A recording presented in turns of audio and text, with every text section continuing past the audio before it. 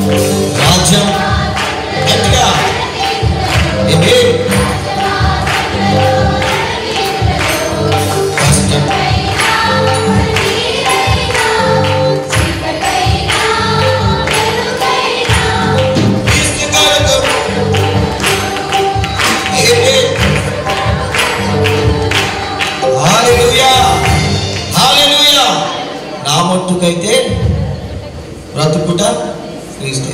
ఇప్పుడు మాట నా మట్టుకైతే బ్రతుకుట క్రీస్తే. చావైతే లాభం రాజమార్గములలో రణవీధులలో కష్టమైన కన్నీరైనా చూసి కష్టమైన కన్నీరైనా చీకటైన వెలుగైనా క్రీస్తు కొరకు నేను బ్రతుకుదును. ఎంతమంది క్రీస్తు గారు ఎంత కష్టం వచ్చినా ఎన్ని నిష్ఠూరములు వచ్చినా ఎన్ని ఇబ్బందులు వచ్చినా మనం ఎవరి కొరకు బతకాలండి? ఎవరి కొరకు? చెప్తామా? మాట? ఏ శతం చెప్తా శతం ఉన్నారు.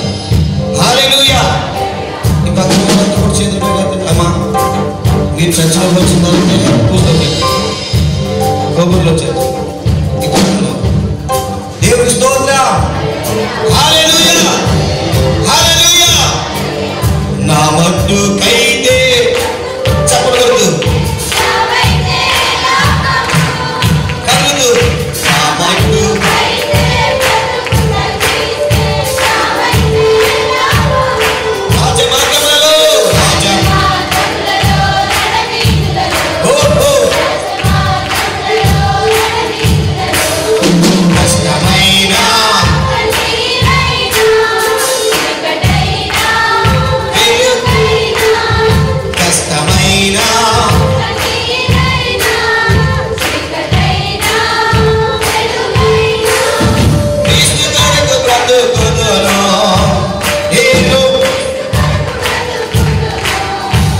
Amen. He's the God of the Bible.